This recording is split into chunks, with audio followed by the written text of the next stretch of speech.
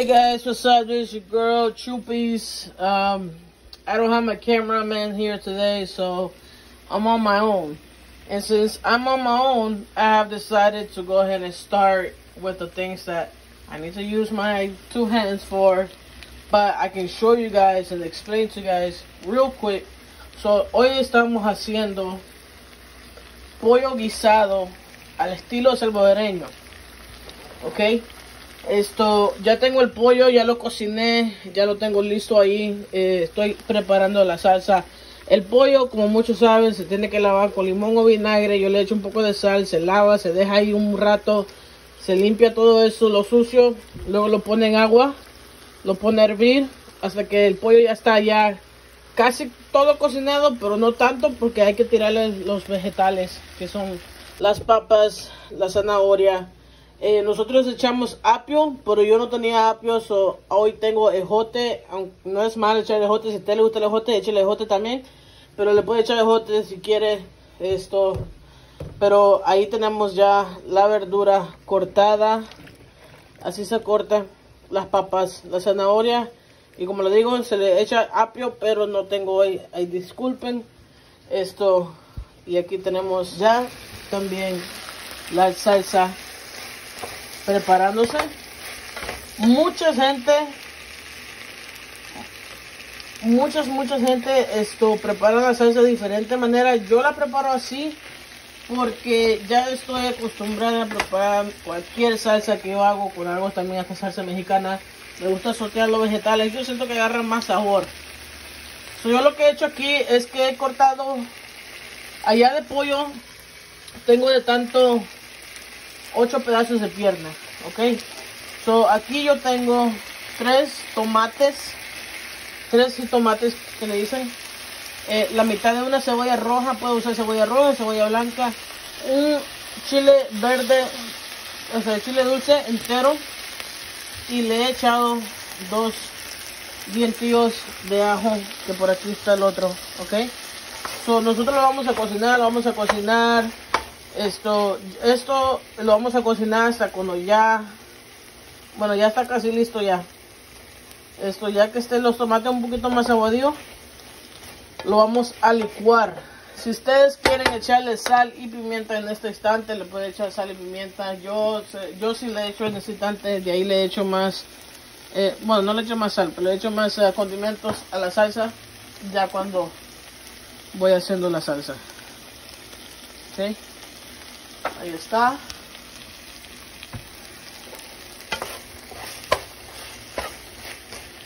Ok, so, el tomate ya tiene que quedar viendo como así.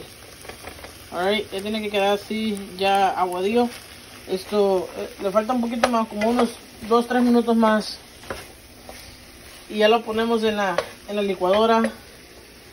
Y de ahí le demuestro lo demás.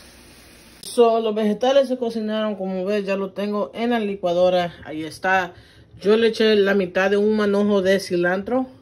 Esto se le echa el cilantro. Y aquí tengo yo los condimentos que le voy a echar. O sea, a mí me gusta la comida un poquitito picante. Se lo vamos a echar un poquito de chili flakes. Le vamos a echar un sazón de que dice season all. O sea, es para todo. Le vamos a echar comino. Le vamos a echar adobo. Le vamos a echar sazón de pollo. Ok. Y le vamos a poner dos paquetes de sazón Goya con culantro y achote. Esto es para darle el, color a la salsa que sea más escurita. So, nosotros aquí vamos a agregarle, esta es una cucharada, un tablespoon de sazón de pollo. Vamos a poner los dos paquetes de color. Okay vamos a poner al tanto suyo. Sazón adobo. Igual con el comino.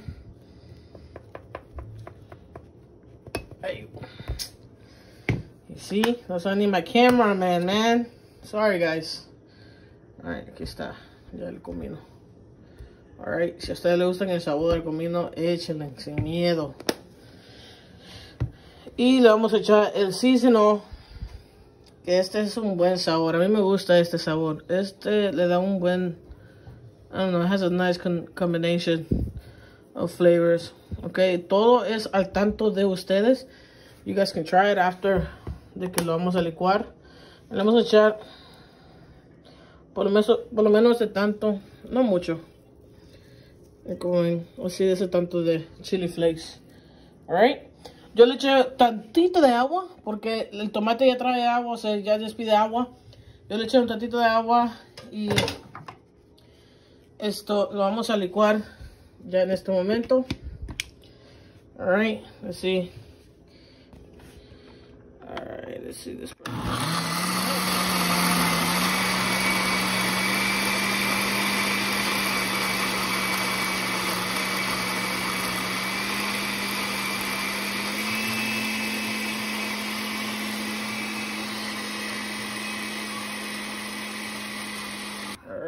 Ahí está.